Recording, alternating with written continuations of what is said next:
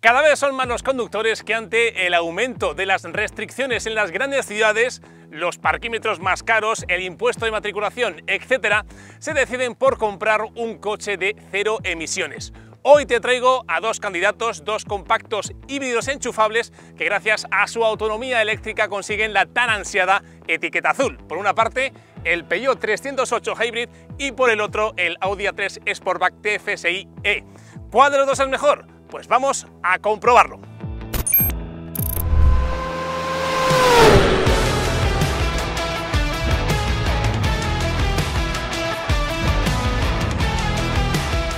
Hemos tirado la casa por la ventana y vamos a probar las versiones más potentes de cada una de las gamas. El Peugeot 308 se presenta en su completo acabado GT y su sistema híbrido más potente, 225 caballos, aunque existe otro más modesto de 180. Y por su parte, el Audi A3 se presenta, llega hasta aquí también con el sistema híbrido más potente, 245 caballos, aunque en la gama existe otro de menos potencia, son 204 caballos.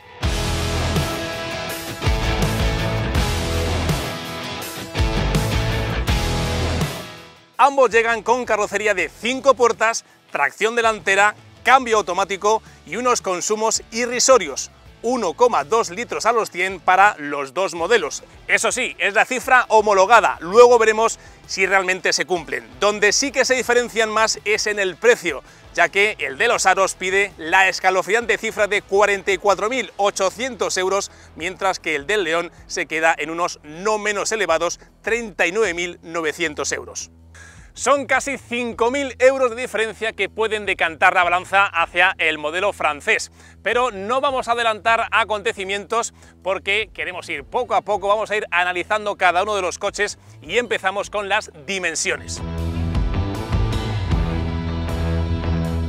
El 308 mide 4,37 metros de longitud por 1,85 metros de ancho de alto mide 1,44, es por tanto más largo, ancho y más bajito que el A3 que mide 4,34 metros de largo por 1,81 de ancho y 1,45 de alto. No son diferencias enormes, pero pueden suponer algunos centímetros en el interior porque la batalla también favorece al francés.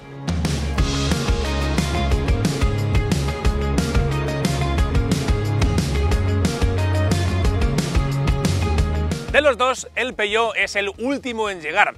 Y aunque nunca me suelo meter en tema de diseño, la verdad es que en esta tercera generación, ya lo ves, la estética, el diseño, la imagen de este 308 es espectacular. El interior también lo es, pero bueno, vamos a ir poco a poco y sobre todo quiero destacar algunos aspectos de este exterior. Lo primero, el frontal, con estos dientes de sable que salen de unos faros Full Matrix, son de serie, no así en el A3, están muy muy afilados y que no te dejan indiferente. La parrilla también ofrece una enorme fuerza estilística con este gigantesco logo de la marca en el centro y el nombre del modelo en la parte superior.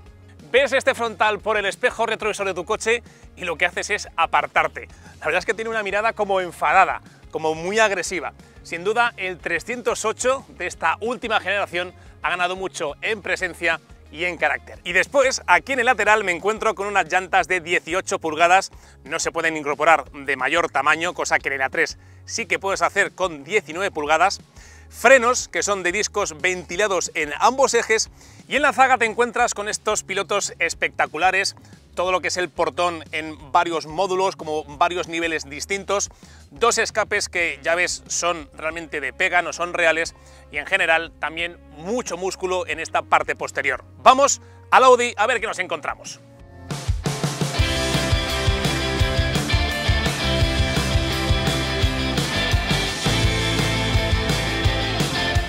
¿Qué nos encontramos en el Audi? Bueno, pues quizá porque lleva más tiempo en el mercado el primer golpe de vista no es tan espectacular como en el 308, aunque eso sí, el diseño del A3 es siempre un acierto, siempre gusta y sobre todo más si cabe con este color tan espectacular, tan llamativo, este color amarillo. Como en todos los Audi, la parrilla single frame es la que fija todo el protagonismo.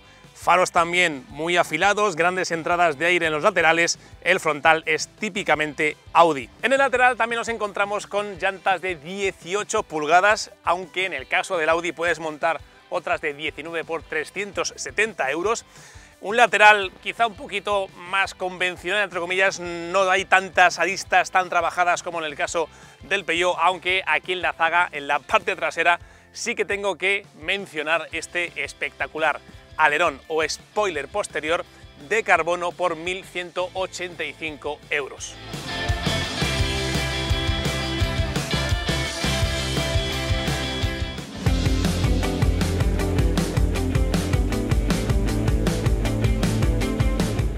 Empiezo por el 308 y lo primero que quiero destacar es justamente esto que estoy haciendo, acceder. Como veis, es bastante, no difícil, pero sí que es algo complicado porque la línea de techo es tan bajita, te recuerdo que este coche es más bajo que el, que el A3, que esto te dificulta el acceso.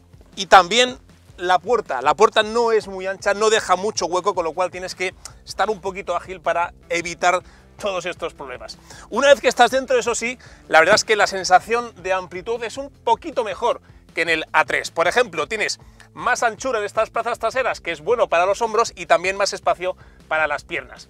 Y hay más cosas positivas, como por ejemplo la salida exclusiva o específica para esta fila de aquí y dos tomas USB tipo C para cargar tus dispositivos digitales. La calidad es un poquito peor aquí detrás que en las plazas delanteras, hay mucho más plástico duro, lo notas en todas estas partes de aquí. Y luego hay una cosa muy positiva y es que el túnel central pues no ocupa tanto espacio, no es tan intrusivo en este 308 como en el A3.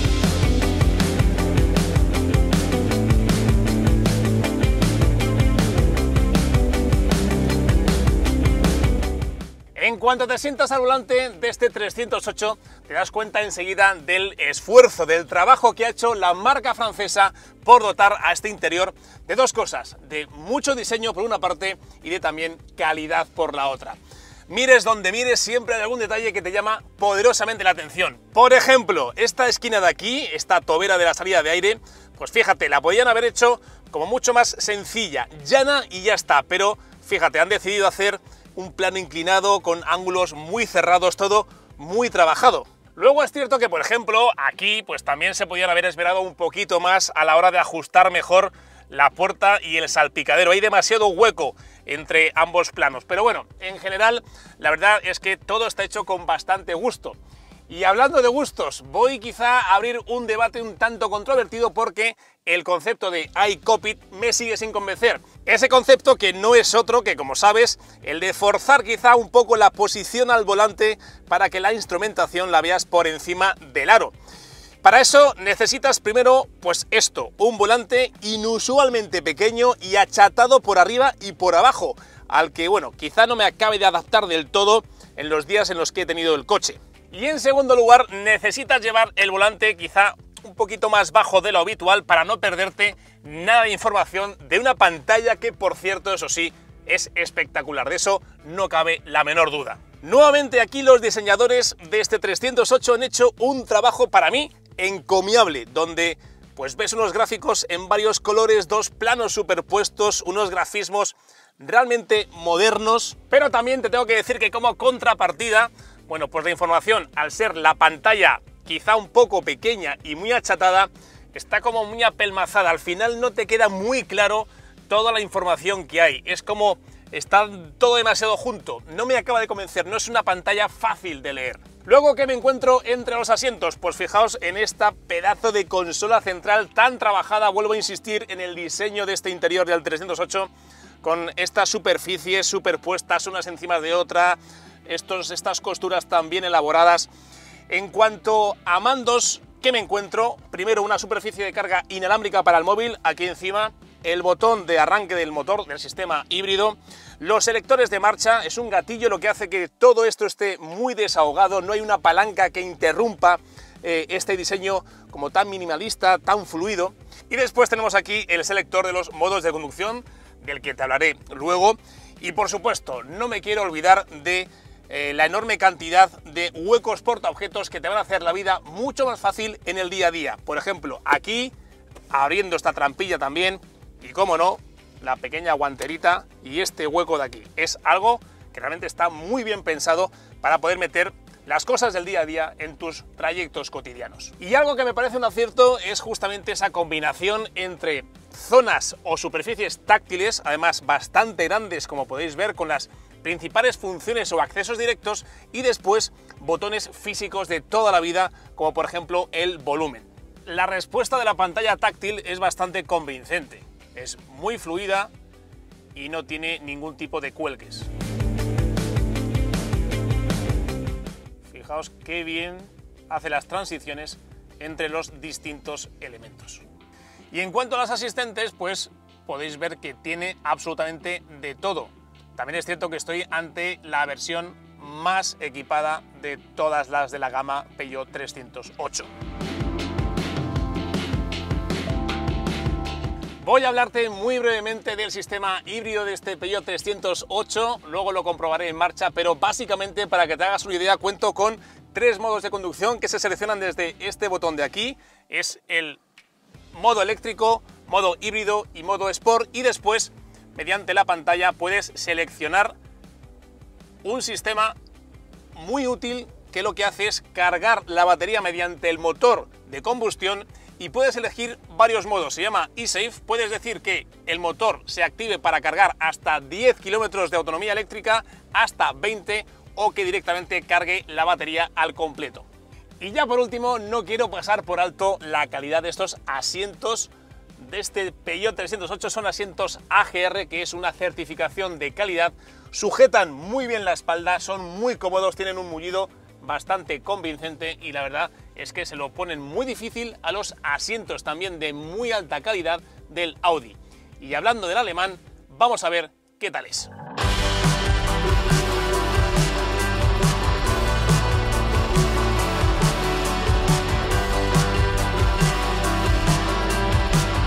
Salto aquí al Audi A3 y tengo que decir que este interior es exactamente el mismo calcado en esta versión híbrida enchufable al resto de la gama. Simplemente en algunas funciones aquí en el menú de configuración del coche tienes, por ejemplo, información exclusiva o específica del sistema híbrido. Y tampoco vas a encontrar diferencias en lo relativo al equipamiento, que es el mismo que disponible para cualquier otra versión del A3 Sportback.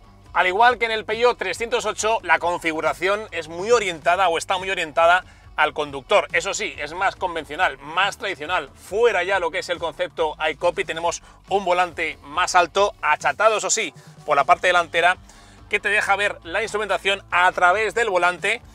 Y luego tenemos la configuración también combinada, por así decirlo, de una gran pantalla táctil con botones físicos en los que puedes acceder de forma directa y muy sencilla, sin apenas retirar la vista de la carretera, a las principales funciones. En cuanto al diseño, que es algo que sí que destacaba mucho en el Peugeot, este Audi pues tampoco es que se quede muy atrás, no desmerece en absoluto. Tiene muy buen dibujo en cuanto a todo lo que son elementos como las toberas de ventilación, la eh, integración de la pantalla, los mandos, esta consola central, con el botón Start Stop, con el selector de marcha, etc. Yo creo que tampoco se queda muy atrás en cuanto a diseño, quizá sí que es verdad que el 308 remata un poco mejor eh, distintas zonas o distintos planos, pero evidentemente este Audi también mola bastante.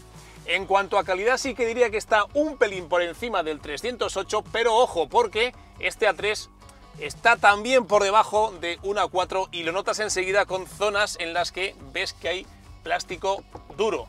Sí que es verdad que toda esta zona aquí está muy bien rematada, pero cuando llegas aquí, por ejemplo, te encuentras con plástico duro que desmerece para lo que es un coche premium como este A3. Con respecto al apartado más práctico, el cotidiano del día a día, hay que decir que este A3 tiene menos cubicaje, menos litros de almacenaje que el 308 y lo notas enseguida. Eso sí, tiene también una superficie para cargar el móvil de forma inalámbrica, dos tomas USB tipo C, después esta zona de aquí que es un poquito más pequeña que el 308 y también esta pequeña guanterita que es también más pequeña que el 308. Asientos, pues qué puedo deciros, también son muy buenos, recogen bien la espalda, tienen un buen mullido, son cómodos y al igual que en el 308 vas a viajar aquí durante muchos kilómetros sin que tu espalda se fatigue. Es algo realmente conseguido. Y después, por último, hablar de la pantalla de la instrumentación. Es menos espectacular, está claro, que la del 308. Es una pantalla sin más. Pero hay que decir que desde el punto de vista práctico recibo la información mucho más clara, mucho más fácil que en el Peugeot. Y eso también a la hora de conducir me facilita la vida a bordo. Botones físicos en el volante, al igual que en el 308, mm, huelga decir que los prefiero antes que esas superficies táctiles que se van imponiendo cada vez más, como por ejemplo en el Volkswagen Golf, en los Mercedes clase A, eh, clase C, etcétera, son mucho más fáciles de manipular. Y añadir también que esta consola central entre los asientos pues elimina la palanca del cambio, simplemente tenemos este gatillo de aquí, lo que eh, da una sensación y aporta una sensación de amplitud y de holgura bastante elevada.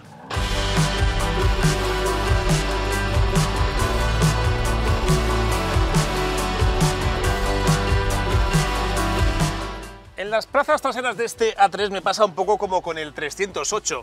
La zona del techo va muy abajo y tienes que inclinar mucho la cabeza para acceder. Pero es cierto que la zona de la puerta te da algún centímetro extra y eso favorece que accedas más cómodamente a esta parte de atrás. Después, en cuanto a amplitud, no está nada mal, pero sí es cierto que la puerta, por ejemplo, va más cerca de mi hombro izquierdo en este caso, la anchura es menor que en el Peugeot, y lo único que sí que es algo más holgado es la altura que deja para la cabeza. Mi cabeza va un poquito más alejada del techo que en el francés. En cuanto a la distancia para las piernas, ya lo ves, eh, no es algo exagerado, pero sí que quizá tenga algún centímetro menos que en el modelo del Peugeot 308 y en cuanto a disposición de mandos lo mismo que en el modelo francés tenemos unas salidas de aire específicas para esta fila también dos tomas USB para cargar tus dispositivos móviles y lo que sí que es algo peor es este túnel central. ¿Por qué? Pues porque es más voluminoso, es más prominente y eso quieras que no, pues también resta comodidad, sobre todo a la persona que va sentada aquí en el centro, que se va a encontrar además con un asiento más plano, no tan bien conformado como los exteriores y también con menos altura al techo.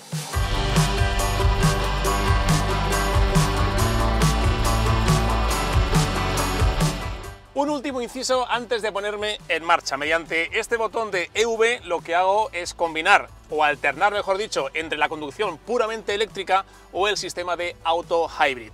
Pero también puedo acceder a este menú mediante el modo e-tron en el que tengo cuatro posibilidades. La que ya he comentado del modo EV completo, que es conducción eléctrica 100%, el modo Auto Hybrid que se pone de forma automáticamente en marcha cuando ya no hay carga en la batería y después puedes elegir entre dos opciones más. El Battery Hold que lo que hace es mantener la carga de la batería para que puedas utilizarla más adelante en tu trayecto si vas a entrar en alguna ciudad con restricciones o también la Battery Charge que lo que hace directamente es utilizar el motor de combustión para cargar la batería. Una cosa que te puede ser útil pero que eficiente eficiente no es. Y ahora sí amigos, nos ponemos en marcha.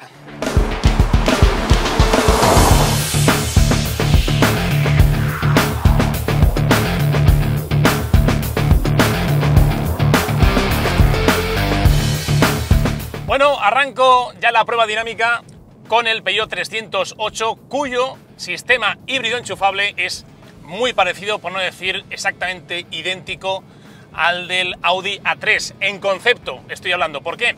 Pues porque consiste en un motor de combustión de 4 cilindros turbo que en este caso llega a los 179 caballos de potencia y que viene apoyado por otro bloque eléctrico de 110 caballos. En total esos 225 caballos, todos ellos delegados al eje delantero, es un tracción delantera, también es el caso del Audi A3 y que va gestionado en este caso por una caja de cambios automática por convertidor de par de 8 velocidades. Una caja automática que puedes manejar si quieres con las levas en el volante. También las tiene el Audi. En el Audi el caso es que tiene una caja de cambios eh, automática también, pero es doble embrague, son 6 relaciones.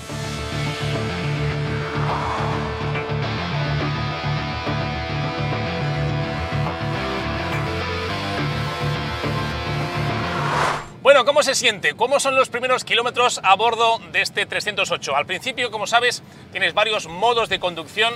Si eliges el modo por defecto, que es el eléctrico, pues te vas a mover con un silencio, una quietud absoluta. Es quizá el modo eh, más recomendable para tus trayectos en ciudad. Como todo híbrido enchufable, le vas a sacar la quinta esencia siempre que tengas o que cumplas dos requisitos. El primero de ellos es que tengas un punto de carga accesible tanto en el trabajo o en casa para poder cargar siempre la batería y que puedas contar con la máxima autonomía.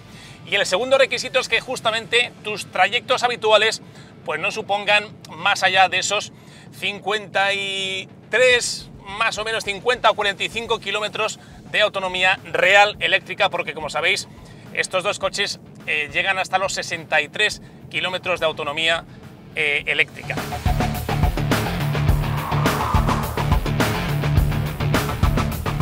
La batería es de 12,4 kilovatios hora, muy parecida también en capacidad a la que monta el Audi A3. Se puede cargar con distintas potencias hasta 7,4 kilovatios.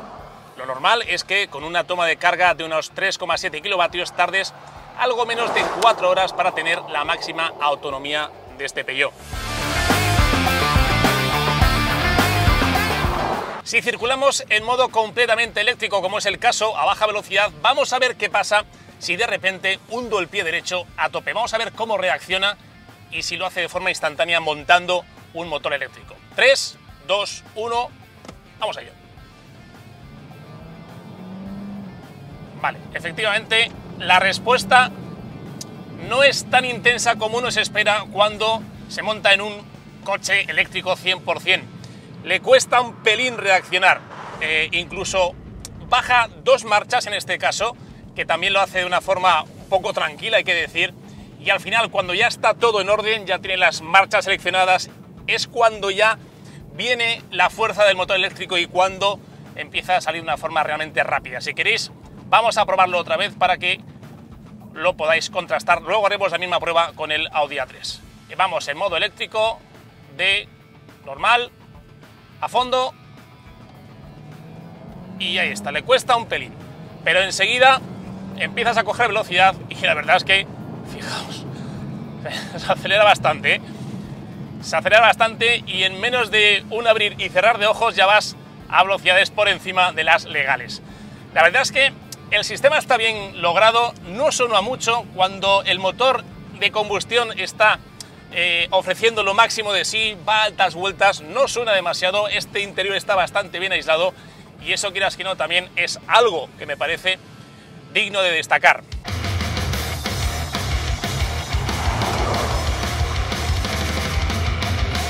Ya os he hablado que la dirección, eh, o mejor dicho, el volante, este concepto de iCockpit no me acaba de convencer del todo, pero tengo que decir que el tacto de la dirección, aunque el volante es pequeño, sí que me gusta. Es una dirección que se comporta de una forma lineal progresiva y que transmite información de lo que está pasando en las ruedas delanteras. No está nada mal esta dirección del Peugeot 308.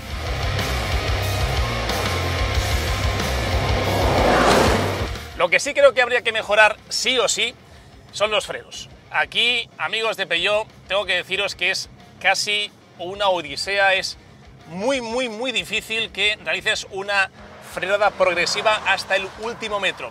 Es verdad que es complicado, que ya sabemos que los coches eléctricos e híbridos enchufables, como es el caso de estos dos protagonistas, eh, combinan esa frenada regenerativa con la frenada física, la del disco, y graduar la intensidad entre ambas, esa correlación es complicado, pero de verdad, en este Peugeot me ha sido muy difícil hacer una frenada sin que al final haya veces como que da pequeños tirones, como que eres incapaz de hacer una eh, frenada super lineal. Es muy, muy, muy difícil.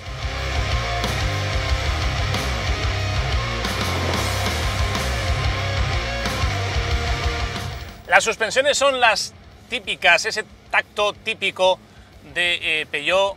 La verdad no puedo decir nada malo de estas suspensiones, son suspensiones que tienen un equilibrio perfecto, un compromiso casi casi ideal entre el confort de marcha que te permite ir por carreteras rotas con un elevado, una elevada comodidad y también el poder atacar una curva o el poder intentar divertirte con un coche así. Es verdad que un híbrido enchufable no es el, coche ideal para divertirte en una carretera de montaña llena de curvas, pero realmente cuando eh, elevas un poco el ritmo, este chasis, esta plataforma, sí que te permite divertirte un poco.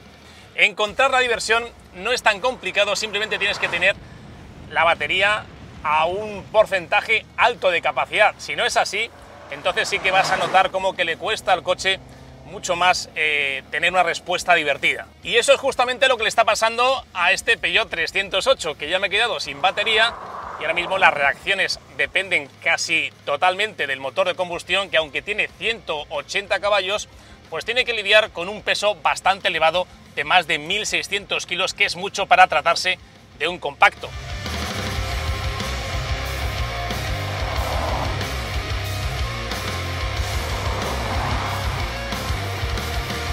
Por lo tanto, ¿qué es lo que voy a hacer? Pues voy a cambiar de coche, me voy a subir al Audi A3 y mientras tanto voy a intentar dejar cargando a este Peugeot 308 que, por otra parte, la verdad es que me ha dejado un buen sabor de boca.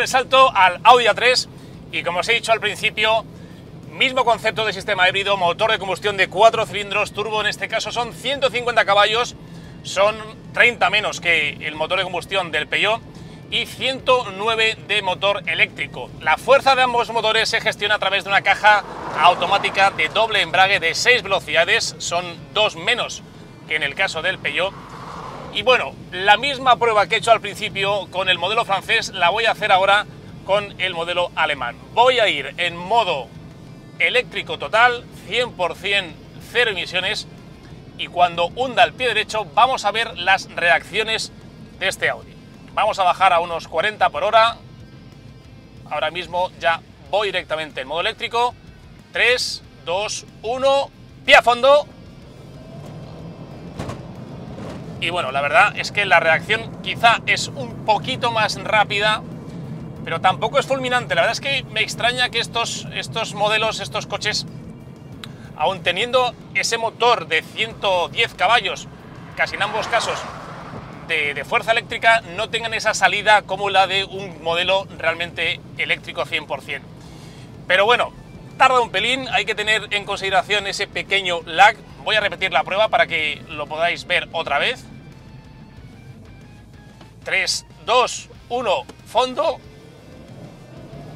Y además, ves cómo va un poco a tirones, ¿no? Como que de repente el sistema eh, se queda un poco sobrepasado por, por la demanda de, aceleración y al final hasta que encuentra la marcha adecuada, hasta que ya empieza a poder tirar del motor, de, eh, motor eléctrico, pues le cuesta un pelín reaccionar, ¿no?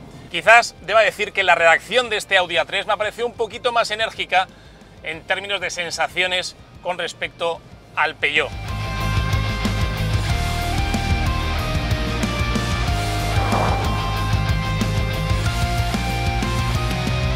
La transición que hace cuando pasas del modo 100% eléctrico al modo híbrido, cuando el motor de combustión se activa, la verdad eh, también es imperceptible. Lo hace igual de bien que en el Peugeot.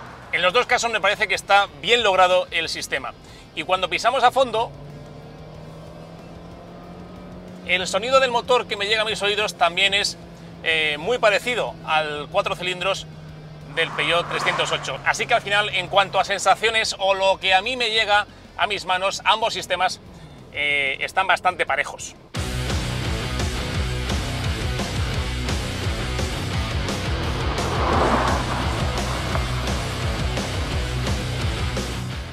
La autonomía eléctrica homologada en este Audi es de 63 kilómetros, son 4 kilómetros más que el Peugeot que ofrece 59. En ningún caso, la verdad, vas a lograr esa cifra a no ser pues o que te esmeres mucho o hagas una conducción en ciudad, sobre todo en ciudad, y excesivamente eh, parsimoniosa, ¿no? Con mucha suavidad, con el pie derecho y demás. Pero la verdad es que sí que puedes llegar fácilmente, esto ya es autonomía real, puedes llegar a cubrir una distancia entre 45, 40, 45 o 50 kilómetros, dependiendo un poco de esa conducción que hagas. Hablamos de elementos como la dirección. En este A3 se nota un poquito más pesada. Es verdad que en el Peugeot 308 la dirección es como más ligera, tiene un eje delantero que pesa un poquito menos. No significa que no sea precisa, eh, la verdad es que es bastante precisa, pero quizá en este A3 sientas un poquito más de firmeza en tus manos y eso te ayuda ¿no? a, tener un pelín más de precisión al volante. Por si no ha quedado claro ya todavía a estas alturas, eh, me gusta más este volante, este aro, es más grande, eh, no sé, lo manejas mejor, aunque tampoco me convence mucho la zona esta achatada que tiene por debajo, pero en cuanto a dirección me quedo con la de este A3. Se nota pelín más, más precisa si cabe.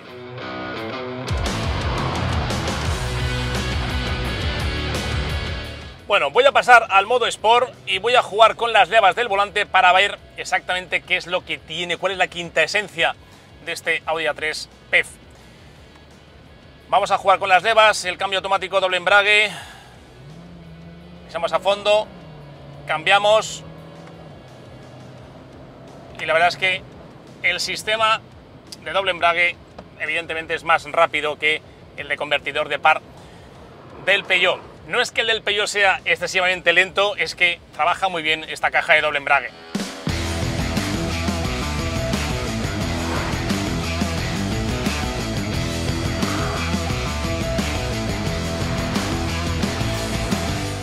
Y después, ¿qué deciros del chasis? Pues que en este A3 yo creo que está también mejor afinado.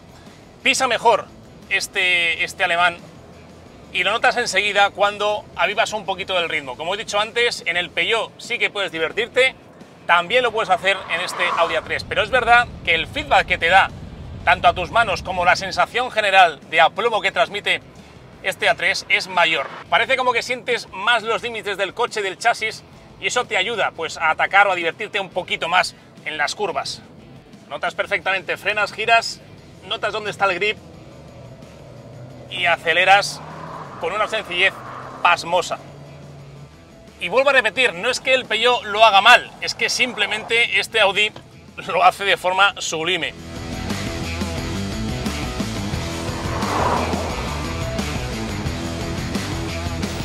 Lo que está claro, y aquí sí que hay una diferencia, porque en el fondo es verdad que este coche pisa mejor, pero tampoco tiene una distancia abismal con respecto al 308 que va muy bien y que es un chasis yo creo que incluso más confortable que este Audi A3. Pero donde sí que noto una diferencia abismal es en los frenos. Ya he dicho que no me gusta la progresividad de los frenos del 308.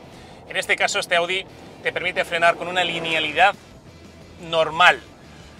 No exquisita como en un freno mecánico 100%, porque es verdad que siempre vas a tener ahí un pequeño lag, un pequeño retardo a la hora de eh, querer afinar los últimos metros, pero sí es verdad que eh, el tacto se nota muy distinto en este Audi, está mucho mejor logrado que en el Peugeot.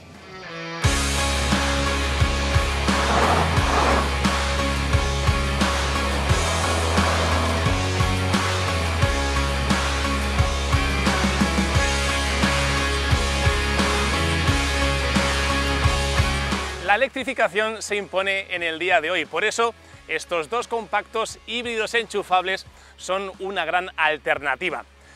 ¿Con cuál me quedo? Bueno, pues habría que decir que bajo mi punto de vista el A3 siempre es un acierto.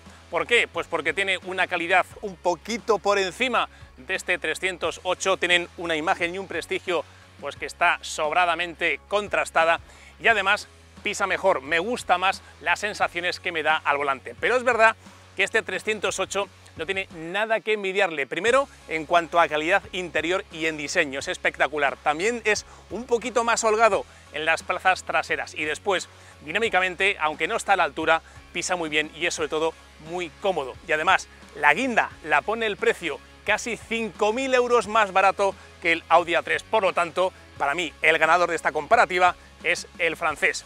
Y en tu caso, ¿con cuál te quedas? Pues déjanoslo abajo en los comentarios danos un like si te ha gustado el vídeo y suscríbete para estar siempre al día de todos los vídeos que vamos a ir subiendo. Hasta el siguiente, cuídate mucho, adiós.